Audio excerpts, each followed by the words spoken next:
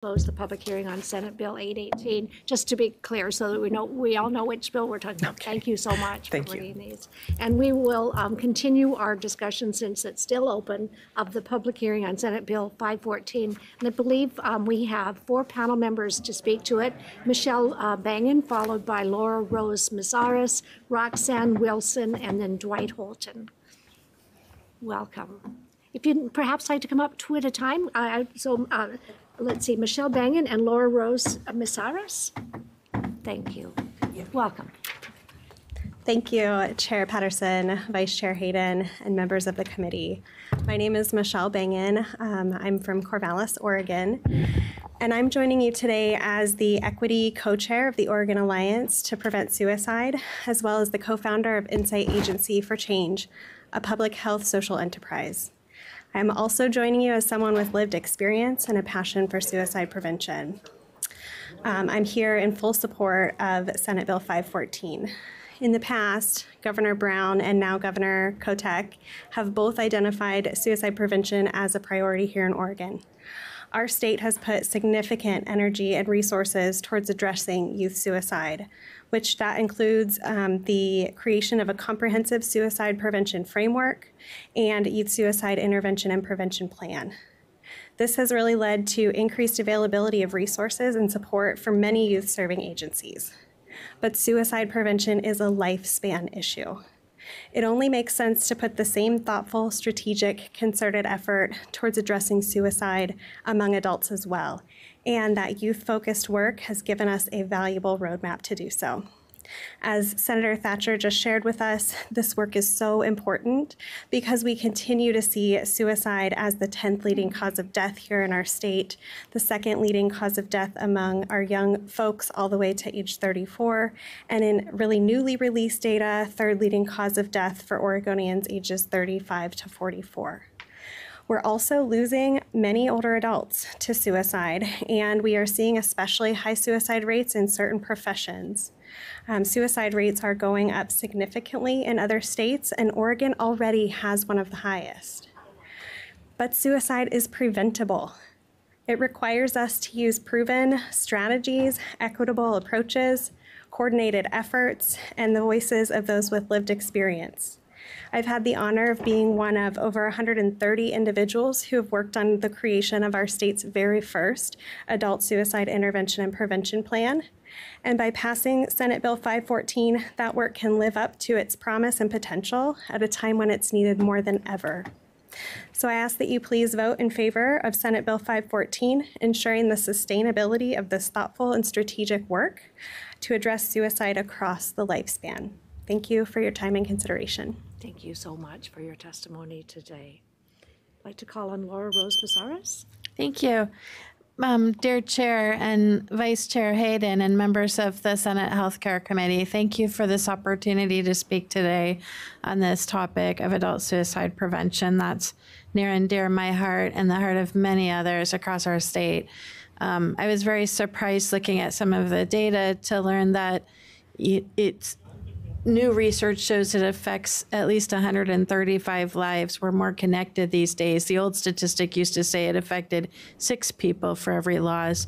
But when we look at that new number and the rate that's happening in Oregon, um, in a span of 8.33 years, that adds up to a million lives in Oregon are impacted one way or another by the suicide loss tragedy. And also, many lives, of course, also when there's a suicide attempt or a struggle with suicidality that can be um, ongoing. It's not always a once and done situation um, in terms of the struggle. Sometimes the struggle, I know people that struggle weekly, daily, hourly, um, always encouraging them, you know, one moment at a time. Um, we can get through it together. Great work happened in our state with the convening of 130 um, plus stakeholders like Michelle and so many others, people from industry, people from different sectors. Um, and so I really ask that this bill is supported uh, it asks for two things the position of adult suicide prevention coordinator that's already in Oregon Health Authority's budget. I'm simply asking that it be put in statute so that it won't be subject to budget drifts, leadership changes. It won't go away. We need it to carry out that plan. Um, we need support to continue. And secondly, the advisory committee or council, however that ends up looking and getting named. Right now, Oregon has a fantastic alliance to prevent suicide uh, that's been focused on youth suicide prevention. I believe this language in this bill helps dovetail the youth suicide prevention work with the adult suicide prevention work that's much needed. And um, so having that lived voice included is so valuable and so important. I think it's actually part of the healing.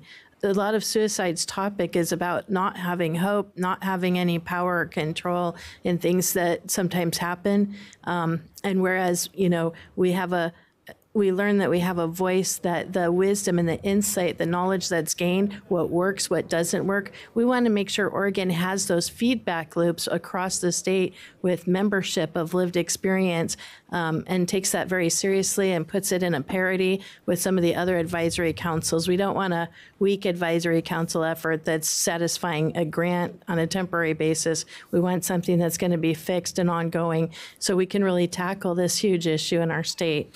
Um, I can't thank the other people that have shown up and submitted testimony enough. Um, eh, please hear our voices and thank you so much for your for your time. And there's materials online I've uploaded, so hopefully that'll be helpful. Thank you very much. And it was very helpful, your clarification that the position does, is currently budgeted, but this would put it in statute so that it would remain and, and, and shine a, uh, a light on the fact that it's needed coordination between youth suicide prevention and adult suicide prevention. Thank you. That was very Thank you. I'd like to call now on Roxanne Wilson, followed by Dwight Holton.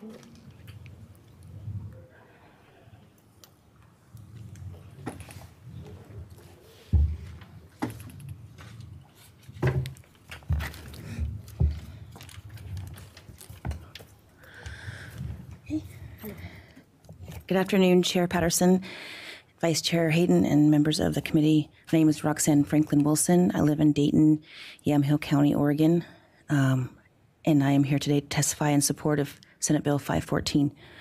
There are three things I'd like to share with you today. The first thing is the magnitude of the ripple effects of suicide related to underserved adults who fall in the gaps between programs for youth and older adults. Between 7,000 and 12,000 children in the U.S. lose a parent to suicide each year, and those who lost a parent to suicide as children or teens are three times more likely to die by suicide. The second thing I want, I want to share with you um, is how being abandoned by our mental health care teams and by our previous county as a whole following suicide loss impacted my family as an example of why elevating the voices of individuals with lived experience to contribute substantially to the invi- uh, an advisory committee as well as state oversight via a standing adult suicide prevention coordinator is so important. In 2016, my family lost my Uncle Jeff to suicide and received, received zero postvention services. Two years later, we lost our daughter, Chloe, to suicide just four days after she was here with me, actually, at the Capitol advocating for mental health services. The response to our loss by the professional mental health community and by the county we lived in at the time was not only completely void of any kind of postvention services or support, but was actually harmful to our family. It was the attorneys who directed our county and all of its service organizations, including our family's mental health care team, to sever communication with our family to avoid a lawsuit. They even told the county commissioner, who had been my husband's friend for over 20 years and had been going to the grocery shopping for our family after Chloe passed, that he wasn't allowed to communicate with us either.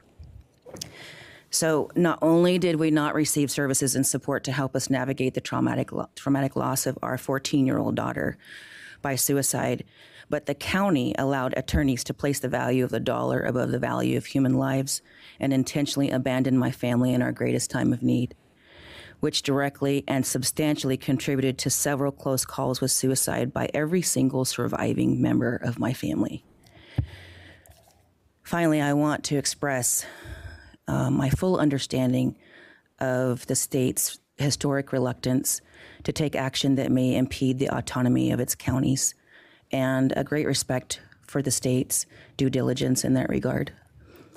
However, when our counties knowingly and significantly cause harm to grieving Oregon families. We count on our state legislators to represent our best interests and at the very least, to protect us from being harmed by our own county governments with the state oversight this bill would provide.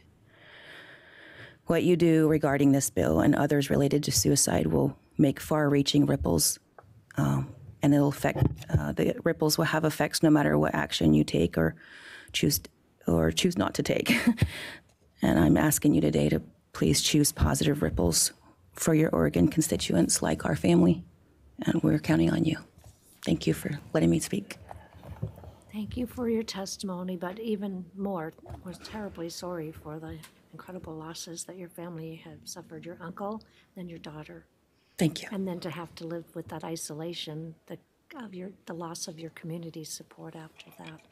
I would just like to see us do something so this doesn't get repeated. Thank you. Thank you. I'd like to call on Dwight Holton, Executive Director of Lines for Life. Um, I believe Mr. Holton is joining us remotely, if I'm not mistaken. Welcome. That's correct. That's correct. I'm here. Um, Good afternoon. You know, uh, Chair Mr. Patterson. Holton, you're very, very quiet. Can you turn up your volume a little bit? I will try my best. How's Oh, that? I'll use my better. outdoor voice. Much Okay, better. good. Thank you. Thank you, and I apologize. Teams does not always love me. Um, Good afternoon, uh, Chair Patterson, members of the committee. My name is Dwight Holton, and I'm the Director of Lines for Life, an Oregon nonprofit dedicated to preventing substance abuse and suicide and promoting mental wellness. Uh, I am here to offer the full support of Lines for Life for Senate Bill 514. At Lines for Life, we are home to the new 988 National Behavioral Health Crisis Line for most Oregon counties. We also do prevention and policy work around suicide prevention. All in all, we talk to over 150,000 people in crisis every year. So this topic is near and dear to our mission and our hearts. I think we know, as we've heard from panelists today, that the challenge of preventing suicide is a critical mission for our generation and our time. Every day in Oregon, we lose two or three friends and neighbors and loved ones to suicide every day. But I'm here with good news. We know we can make a difference and we know how because we've seen it happen. We know how to turn that curve around, as Senator Thatcher said at the outset that we wanted to do. Uh, we know it in part from tangible data that we've seen the results in the youth suicide prevention work that we've done. What we've seen uh, when the state adopted a, a, a or created a youth suicide prevention coordinator position and adopted a youth suicide prevention strategy was having a center of gravity at Oregon Health Authority, the Oregon Health Authority, working together with community expertise, with guidance from powerful voices of lived experience, and moving along the line towards a unified strategy, we can have a very serious impact. The Oregon Health Authority uh, told us recently in data that we have now had three years in a row uh, 2019, 2020, and 2021, where the youth suicide in Oregon has actually gone down. We have tremendous work to do. Our average is still above average, the national average, but we're moving the curve in the right direction here.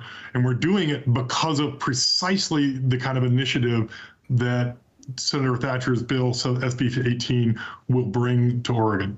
So I'm here in full support. We know the results. We know this can work and have important impacts. We need to build on it, not shrink it. And uh, the reality is that the bulk of suicides in Oregon are among adults. The highest challenges are among older adults. The Oregon Health Authority has, has prioritized that already, but this will give us a galvanizing center of gravity and a accountable strategic plan that will bring us closer and closer to making a difference. Thank you very much. I'm happy to answer any questions. Thank you so much, Mr. Holton. Appreciate your testimony very much. Thank you for the work that you do. Um, We have two others testifying remotely, Catherine Latimer, followed by Robert Granger. And welcome. Hello, can you hear me? Yes, thank you. Hi. Um, my name is Catherine Latimer, and I um, have spent six years in an ER. and emergency room, and now I am a psychiatric mental health nurse practitioner. Um, I went back to school specifically because of what I saw in the emergency department um, was not adequate. And we were just um, placing a band aid on something that was a much deeper problem. Uh, I wanted to be able to help before it was a crisis. I've never seen mental health, or I've seen mental health um, go on unaddressed for far too long. And it's been kind of an afterthought in healthcare services, despite our brain being connected to our body. We need more integrated care for dual diagnosis. They're almost always dual diagnosis. Um, this would reduce stigma, it would prevent losses, like my friend Amy. She's one of three people that I know that have killed themselves in 2021. Um, Amy was a bright force of nature. She actually worked as a psychiatric nurse for children. But she didn't have the support that she needed herself. And the ripples of her loss are large and many. Um, we need more hope. We need more to be done earlier and often. And I support both of these bills um, emphatically. And I think of Amy all the time. And I just want you to think about her when voting for these bills. Thank you. Thank you so much, and we're so sorry to hear the losses of three of your friends and colleagues. There's, each person in life is so precious, so thank you so much for testifying today. Um, I'd like to call uh, Robert Granger, Healthcare Chairman of the First United Methodist Church in Eugene, who's um, speaking to this bill remotely. Welcome. Thank you. Uh, I'm really calling in terms of Senate Bill 704, uh, particularly. but, uh, My, con- my concern Oh, I'm is. the so question- sorry, Mr., um, what's, Mr. Granger, um, we'll need to just speak to the bill be- on, be- that's open for a public hearing right now, which is Senate Bill 514. Did you have any testimony on this suicide uh, prevention bill? No, I, the other one I signed up for and I, and it didn't get called. Now I'm getting called. Oh, our apologies. I um, will put you, make sure that you're put on the list for Wednesday to testify remotely on that. We will be carrying over Senate Bill 704 on Wednesday. Thank you for being prepared to speak to that. Thank you. All right. Um, We have three more people testifying here in person on, on Senate Bill 514. I'd like to call Kevin Fitts, followed by Annette Marcus, followed by Lisa Stiller. Chair, I, I don't think I need to testify. Okay, thank you so much. I don't see Kevin Fitts, actually. Is he here? Um, um, Are are you Lisa, or are you Annette? I'm Annette. Oh, thank you so much. Is Lisa Stiller here? Don't see her then, and I don't, are you remote, are, Annette, are you joining us remotely?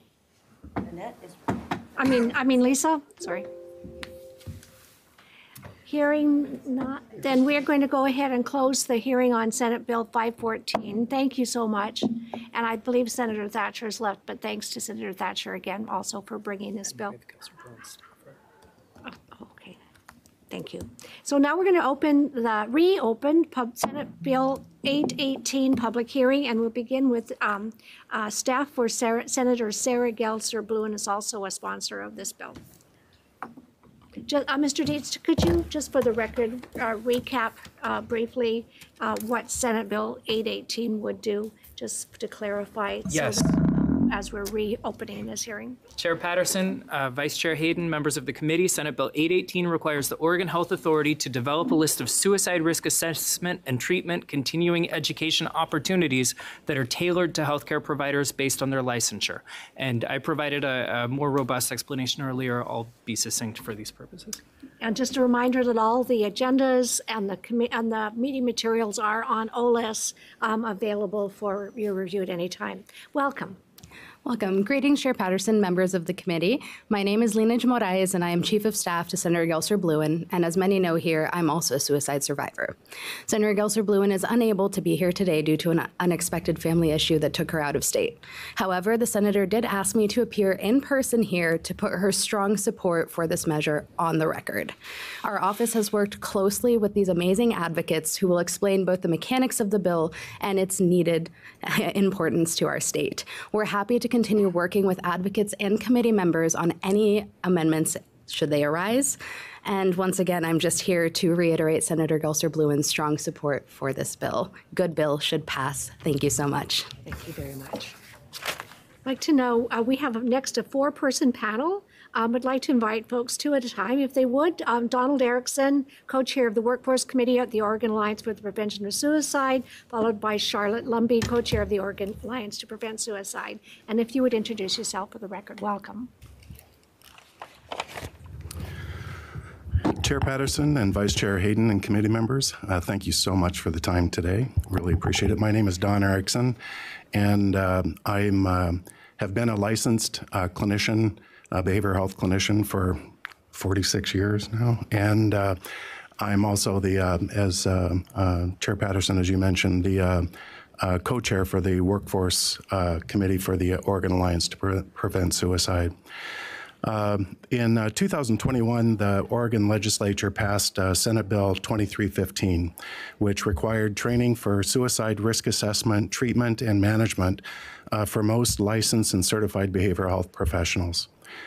Uh, This adds Oregon to a growing list of states recognizing that the overwhelming number of graduate schools uh, in this country uh, have not and continue not to provide uh, coursework on uh, graduate pre- uh, suicide prevention, on graduate level school suicide prevention. That, by the way, the ones that do almost are entirely elective courses, not required courses. And so very, very few graduates in all levels of behavioral health receive any sort of, of training in suicide prevention, uh, assessment, uh, or postvention. Uh, from um, uh, from practitioner reports uh, to the Oregon uh, licensing boards, we see strong evidence that those professional groups uh, are now responding to the requirements outlined in Senate Bill 2315 and are increasing their uh, skills in working with suicidal clients or potentially suicidal clients. Uh, so we're, we're incredibly grateful that SB 2315 um, has gone into effect. However, this still leaves a critical gap in making crucial connections with people considering taking their lives. Uh, we know with the most very current uh, data that 80% of people who die um, by suicide have seen a met, um, have been seen in a medical setting in the prior year. Uh, and people who die, uh, and many within 30 days. The goal of this bill is to prevent suicide by increasing the number of medical providers uh, who uh, take suicide prevention training. And with that, I'll pass it to my colleague.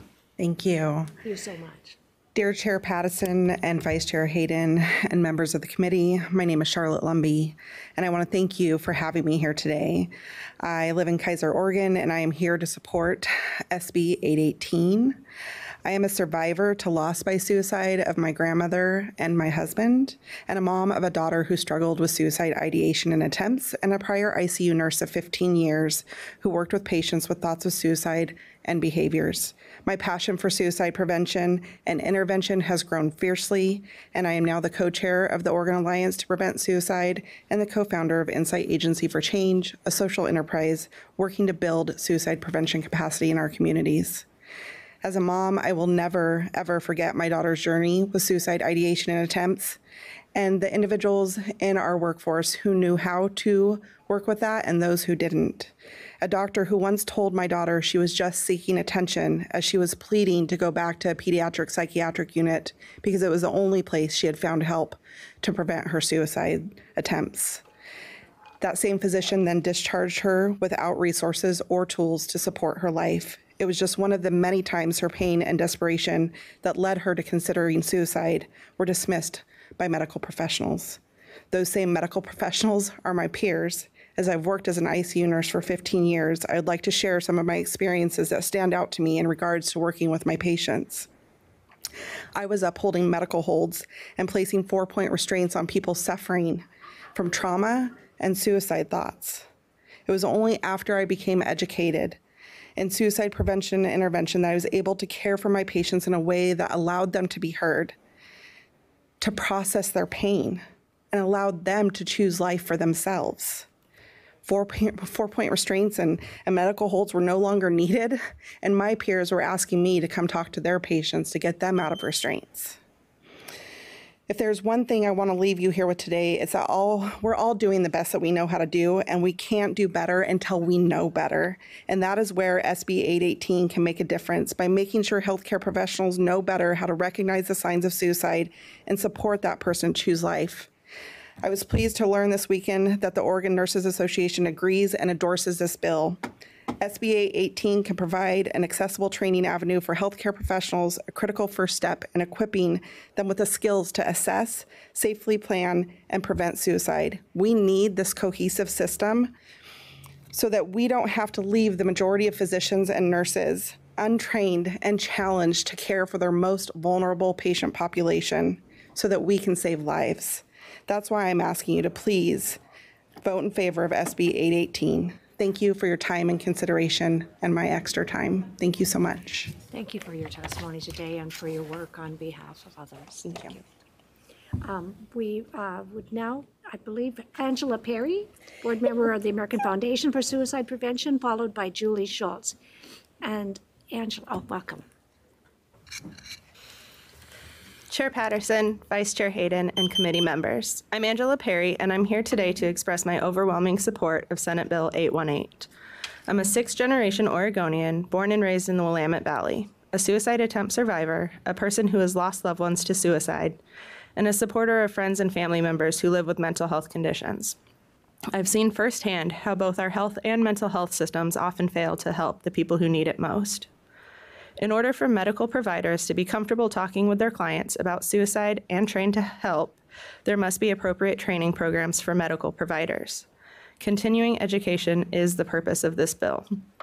My first memory of self harming was when I was in the first grade, and the frequency and types of self harm have evolved as I've aged. The professionals I saw underestimated how much I was thinking about killing myself. My entire childhood, teen, and young adult years, my many diagnoses, polycystic ovarian syndrome, fibromyalgia, depression, anxiety, ARFID, and bulimia, no medical providers ever asked me the questions. And since they weren't asking, I didn't think to volunteer the information. It was, after all, what I saw as the worst thing about myself. I have had to learn how to advocate for myself with my mental and physical health conditions as an adult. The loss of another friend to suicide led me to find the Oregon chapter of American Foundation for Suicide Prevention, of which I am now the chair of the board of directors. In the years that I've been involved with AFSP, I've met countless others, from a five year old little boy who was with his mom at Portland Pride, who asked to come over because he had just been released from the hospital for his suicide attempt, to all the thousands of survivors I have met at events across our state. I know my journey is not unique. I'm far from the first to share in these experiences, and I know I will not be the last. For those of you who have never had to fight to save yourself from yourself, let me tell you, it's terrifying, it's lonely, and it took me 36 years to find any care provider who actually knew how to ask and address my answers to the most important questions. Are you suicidal? Are you thinking of hurting yourself? Do you want to die? My answers to the first two questions are always yes. Do I want to die, though? Definitely not. So I ask you to please take this bill seriously. Please help make it so all the healthcare professionals are trained to recognize, acknowledge, and help those who are struggling with suicide. My life and the lives of so many people I love depend on it. Thank you for your time. Thank you for your testimony and your advocacy. Thank you. Um, I believe that Julie Schultz is joining us remotely, and then we will have two others um, speaking to this bill uh, before we close the public hearing. Welcome, Julie. Thank you. Thank you, Chair Patterson. Uh, Chair Patterson, Vice Chair Hayden, and committee members, for the record, my name is Julie Schultz. I'm the Executive Director of the Oregon Pediatric Society and co-chair of the Workforce Committee for the Oregon Alliance to Prevent Suicide. I'd like to thank Senators Gelser, Blouin, Thatcher, and Gorsek from this committee for sponsoring the bill. You've heard today about our need to increase the percentage of physicians, nurses, and other medical professionals who get trained in suicide prevention. To save time, I'm going to direct you to my written testimony for more information about why OPS supports this bill. The Alliance wants to make it easier for medical prov- providers to uh, assess, uh, excuse me, the Alliance wants to make it easier for medical providers to access a range of relevant continuing medical education in order to build their skills in suicide screening, assessment, lethal means counseling, and safety planning. To do that, we need to build the capacity of that training system to accommodate tens of thousands of Oregon medical providers. With the support of this bill, OHA suicide prevention programs and staff are uniquely positioned to do this work. I'd also like to point out the OHA report shared with you that provides powerful data on the current state of suicide prevention continuing education. Through state licensing board reporting, we already have the infrastructure in place for tracking increased practitioner training numbers. And we know it's effective. The University of Oregon Suicide Prevention Research Lab analyzes reported improvements after people take Oregon's Big River trainings, and the increase in knowledge and confidence can be substantial. The Alliance to Prevent Suicide and the Oregon Pediatric Society urge you to vote yes to these life-saving capacity building investments. I thank you for your consideration.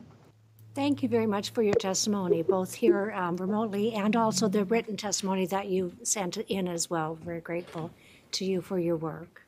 Uh, the last two people we'll hear from today, um, Annette Marcus, Suicide Prevention Policy Manager, followed by Kath- Catherine Latimer. Well, I thought we already heard from Catherine. That's we did Oh, okay. Welcome. Thank you for speaking to this bill. Good afternoon, Senator Patterson, Vice Chair Hayden, and members of the committee. I'm going to just make a couple of brief remarks because these are really my colleagues that have been testifying to you. My name is Annette Marcus. I am the policy manager of the Oregon Alliance to Prevent Suicide. Uh, the Alliance is a legislatively enacted advisory to the OHA. We have 50 appointed members and really about another couple hundred people that are really engaged with our work. And what we are asking for really is is simple. It's let's make it accessible and easy to get to for healthcare providers to find the training and to under to to get to build their competency in, around the area of assessing suicide for suicide. I think it's a horrible tragedy for healthcare professionals when they lose someone to suicide. And what we also know is that healthcare providers themselves are struggling with suicidality on an increasing basis because of the intense pressures in those systems. Because of that, we have chosen this time not to ask for a mandate around continuing education, rather to kind of open the doors and create a playing field where providers would have easy access to get the training. Um, the, the Oregon Health Authority, and I believe in the senator's budget, there's already a training position uh, put in around suicide prevention. And that would be a position that we would hope would be working on House Bill 2315 that Don Erickson told you about earlier, and also provide support for Senate Bill 18, 818 if it passes. I really believe this measure will save people's lives, and thank you for your time and appreciation. Appreciate you. Thank you so much for your time and all the work you're doing. Thank you. Much appreciated. Question. Yes, and there's a question, please. Th- uh, Thank you, Chair Patterson. So in reading the- this bill, I've looked it over pretty closely, was here when we kind of put legislatively in process um, your organization to do this. And it appears to me that the only change from our current, other than some technical ands and comments in and out, uh, here is that you're wanting to bring awareness to the boards and actually engage with them by these four words, approved by the board. That, that seems to be the only change from what we are currently doing. Is that a correct assessment of, of what you're uh, wanting to accomplish with this? That the board acknowledges that the education is out there rather than the education just being out there, that you're requiring the board acknowledge uh, as uh, in line 33 of the bill, where it says they're, they're taking uh, some language out there, they're adding "and" to the treatment, and they've done that throughout the whole bill, um, that it's actually approved by the board. That seems to be the only change to what we're currently doing. Do I understand that correctly? Thank you for the question. And I- as I read through our own bill and the language translated into legislative language, it, I think we need to look very carefully to be sure we are doing what we want to do. So, and essentially what we are asking is, yes, we do want the licensing boards to acknowledge what's out there, but the real, the core of this is that there'd be a position at OHA that would actually develop the list of trainings and assess whether there were accessible, quality trainings for the healthcare providers. And if you think about what's happened with, for example, pain management over the years, while we're not making this a requirement, over the years, the OHA has really worked on making that pain management course for physicians and healthcare professionals be more responsive, be effective, and that's really the kind of work we're looking for here. We, suicide prevention, we keep learning new information about how to do it effectively, and we want to be sure that our healthcare providers in Oregon have the best information they can so that they can can be healers like they want to be. Thank you. Thank you. Thank you for your testimony. And our, um, Catherine Latimer is joining us remotely. Welcome back. To speak. Hi, I'll keep this brief since I already testified. Um, I think this bill is a good first step. I hope that we can continue to build upon these screening services to also turn. Could you, intro- could you reintroduce yourself just for the public Yes. record? Thank you. Thank you. Um, my name is Catherine Latimer. Um, I have worked as an emergency room nurse for six years, and now I am starting a career in psychiatric mental health um, nursing as a practitioner. Um, let's see, where was um, I think I, I'm hoping we can build upon these screening services to also train more people in trauma informed care um, through all medical fields. Um, I ask that the interventions are evidence based and will continue to expand. For six years in the ER, I used a screening tool that did not have the data to back up any validity. Um, we all have trauma, but not all of us have the support protect and protective factors to overcome this trauma. After going to school for mental health nursing, there's so much that I have learned that could have saved lives. And I support this bill. Thank you for listening. Thank you so much, and thank you for doing this work for years and for your commitment to, to learning more and helping more. Very much appreciate it. Um, I, I don't believe we have anyone else signed up to testify to Senate Bill 818. So with thanks to um, our LPRO staff who helped organize this, th- th- this was a Herculean task to organize the number of folks who signed up to testify today. And with apologies to everyone who didn't get to testify earlier, but I do believe we've gotten through everyone on this, these last two bills. We'll close the uh, Senate, Senate, oh, the public hearing on Senate Bill 818. Um, Again, if anyone has any written testimony that they'd like to submit for either Senate Bill 514 or Senate Bill 818, they're welcome to do so until 1, 1 PM on Wednesday, the um, 15th of February. If you have testimony to submit to Senate Bill 704 in writing, please um, know that you're, we will be reopening that on Wednesday, but you can submit written testimony till 1 PM on Friday, since we're reopening it on Wednesday. So is there anything for the good of the order? Hearing none, thank you to everyone, and so we will adjourn the meeting for today. Thank you.